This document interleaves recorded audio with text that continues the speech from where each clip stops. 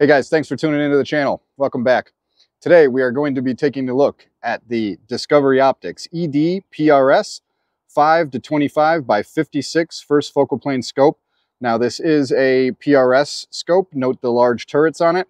And full disclosure, Discovery Optics had contacted me and they sent this over and were kind enough to say, hey, you know, we like your channel, we'll send you a scope over, do a review on it. And specifically they wanted to see some comparison between some other scopes. So I've got some of my favorite brand scopes, which of course are Element Optics. We're gonna take a look at this with a scope cam versus some of those Element Optics scopes. I've got a Helix and a Titan.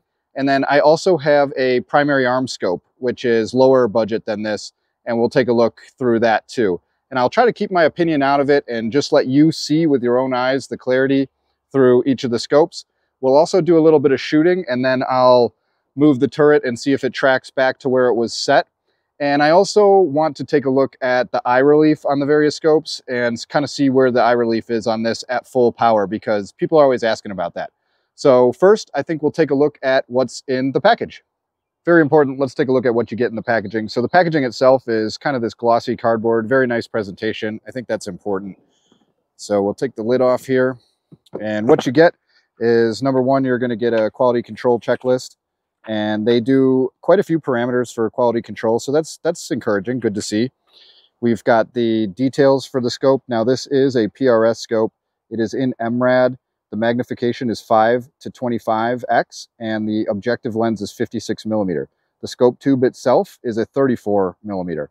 And you can see there the max elevation adjustment range is 15 MRAD and the max windage is 8.7 MRAD.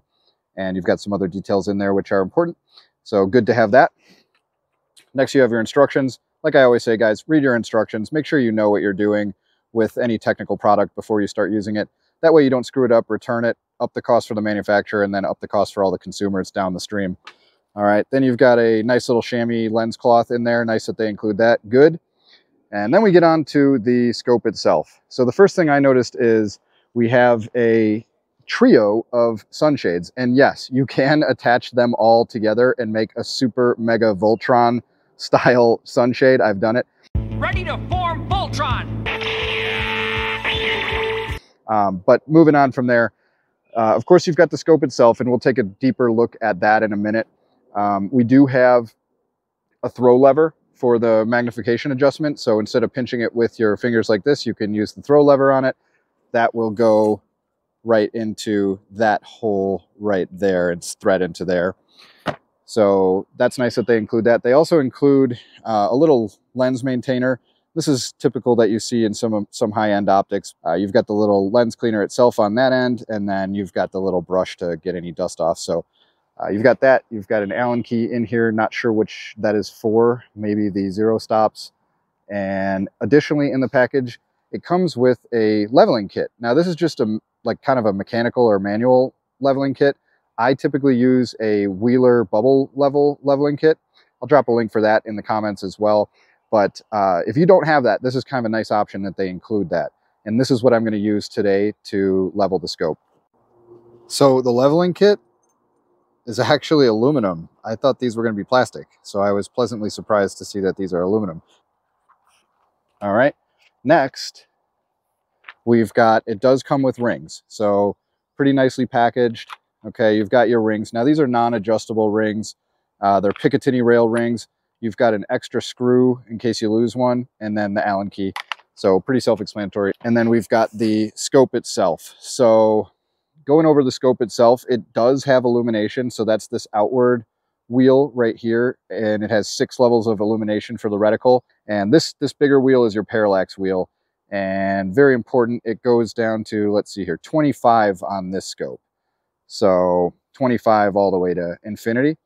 And like I said, it is an MRAD scope and it does have zero stops. We'll take a deeper look at that in a bit. Uh, but that's basically what you get in the package. Okay, so we got that scope mounted up using the leveling kit that they provided. And what's nice that I didn't mention before about the actual rings is they do have your torque values written on them. So you'll never forget what to torque those to. And I usually use a Wheeler scope torque wrench. I'll put a link to that in the comments. But Anyway, this thing's mounted up, so I'm gonna get it sighted in and then we'll take a look down the scope with it. One other important feature that I didn't really discuss is that the elevation turret has a zero stop. So I'm gonna grab my tripod, put this phone on a tripod, and I'll show you how that is used. They made the retention screw on this very easy to access with basically anything you have on hand. So a coin would work great. In my case, I have a key right here. So we're gonna go ahead and take that off. And once that's off, you can pull the turret. And this piece right here is your zero stop. And it's got three Allen grub screws on it. And basically what you wanna do is once you have your zero, you wanna set that so that you cannot dial down any further. So see this tab that's sticking out on it? Let's get a better shot of that.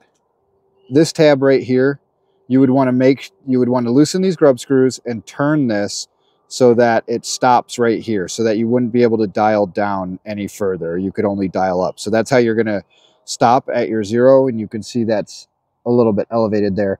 So very simple, just like the element turrets, which you've seen a lot, this pretty much the same style mechanism there.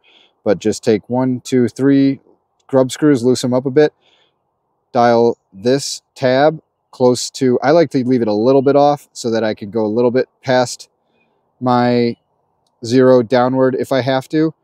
And then that's how you can have an easy reference to where your zero is. The windage turret is resettable. However, it's a little more complicated than just the flathead screw that the elevation turret has. On this, you can just take it off with a coin or a key or whatever and then reset your turret. On this one, you're going to have to take an Allen key and undo some of these grub screws, and then you can reset that turret.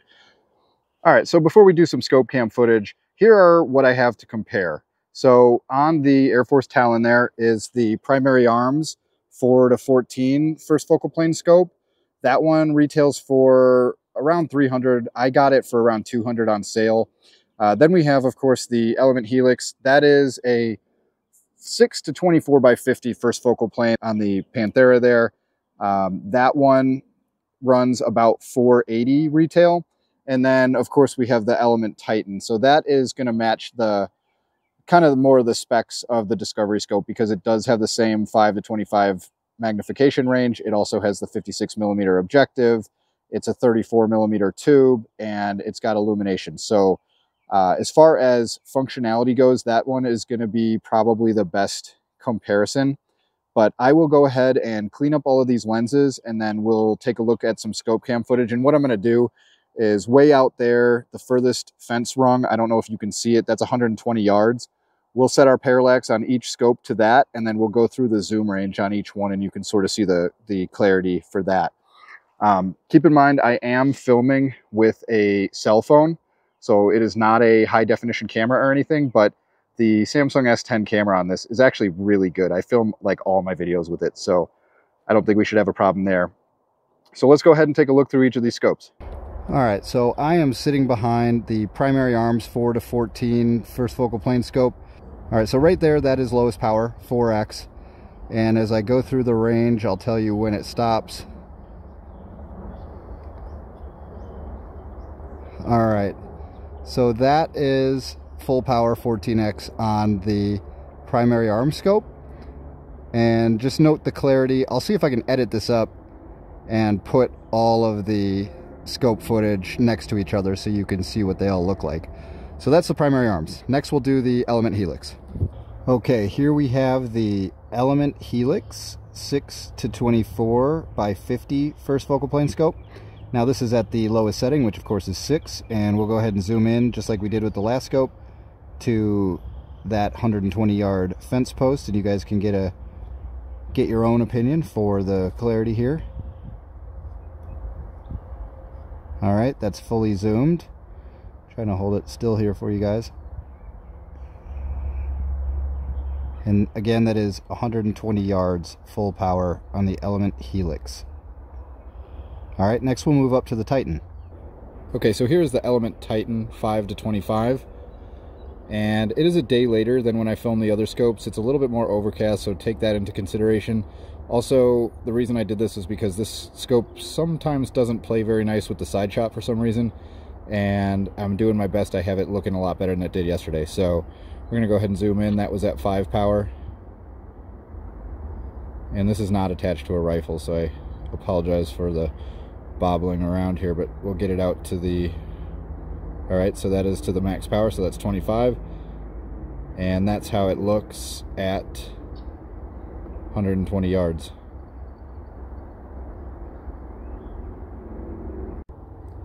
All right, so here is the Discovery, which seems to want to play pretty nice with the side shot scope cam. And let's go ahead and zoom into our, so this is, that's five power. Let's go ahead and zoom in.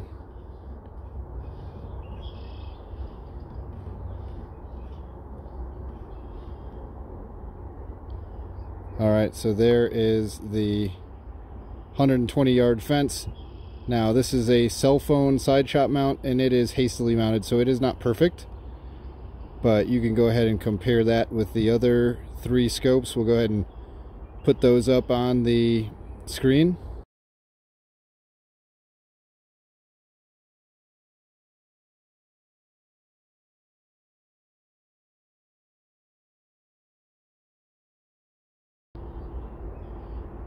And there you get a feel for kind of what your field of view is and mostly how it looks. Now, of course, it's going to look different to your human eye versus my hastily mounted side shot, which is kind of screwing up the sides a little bit. But let's go ahead and do this. We'll we'll look at some various distance stuff. So I'm going to go back down to 25 yards, and I'll go to like 10 magnification. Okay, and we can look around and sort of see the clarity on that scope. So that's about 20 yards and I have it at 20 at the 25 parallax setting, which I think is actually 25 meters because it's an MRAD scope, so it would make sense that things are in metric. So that's like that's like 20 yards or I don't know 18ish meters maybe. And I'll zoom in there. All right. And let's look a little, let's look at like what truly might be 25 meters. So we've got the wood pile there, I'll back off. So that was in the 20 power range. I'll back off to 10. And we that's the that's the log pile that I always shoot chipmunks out of. And we've got the little bridge little bridge right there. So this scope does want to play nice with the side shot, which is good. Sometimes with various different scopes, it's hard to get it to play nice, but anyway, that gives you an idea of it. Next, I'm going to put a target out at 50 yards, zero this thing, and then I will shoot it, and then I will adjust the turret and see if it comes back down to where I had it set at. I have a target out there at 50 yards. I'm going to be shooting from the bench. Off. Let's go ahead and verify my zero.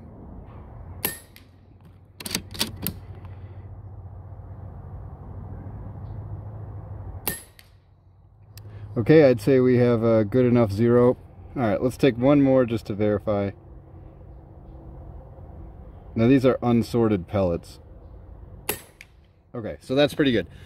All right, so that's at 50 yards. I'm gonna remember where I'm set at and we're gonna do a tracking test. So I'm winding her a lot.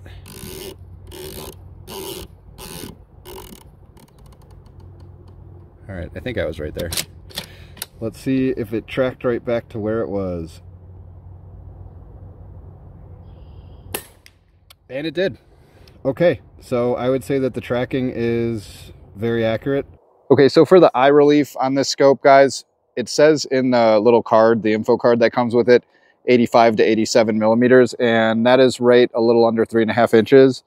And I find that to be true. So this is where I have my eye relief on this scope. You can see my eye is about 3.25 to 3.4 inches away from the lens there. So that's what your eye relief on this scope is going to be, true to the manual. All right, guys, so that's going to do it pretty much for me. I think I went over most of the features. So just to recap, The scope is a 5 to 25 power. It's got a 56 millimeter objective lens. It is a 34 millimeter tube. It comes with a scope leveler. It comes with scope mounts. It comes with a chamois cloth. It comes with uh, three different sunshades. It comes with a cleaning kit. Quite a bit of stuff you get with this for the price. Plus, it has a zero resettable turret and it's in MRAD. It has a pretty big parallax wheel that you don't have to add an additional wheel or anything on. It's already pretty big. And it is an illuminated reticle scope. So for the price, you get quite a bit for this. And I tried to keep most of my opinion out of it, uh, other than what I just told you. And you can kind of look through the scopes that I, I, had on my scope cam setup and sort of make up your own mind on it. But uh, just thanks to Discovery for sending this out for review. It's going to find a good home on my brother-in-law's gun here. And uh, hopefully this was helpful to you guys. Thanks for watching. We'll catch you on the next one. Peace.